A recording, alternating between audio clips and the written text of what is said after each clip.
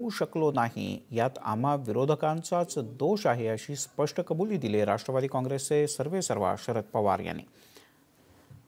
एका वृत्तपत्राला दिलेल्या मुलाखतीमध्ये त्यांनी या संदर्भातलं मत स्पष्टपणे मांडलं आहे आणि अशा प्रकारचं पहिल्यांदाच शरद पवार यांचं प्रतिपादन समोर येत आहे महाराष्ट्र सरकारचा रिमोट कंट्रोल हा मुंबईहून बारामतीला गेलेला नाही.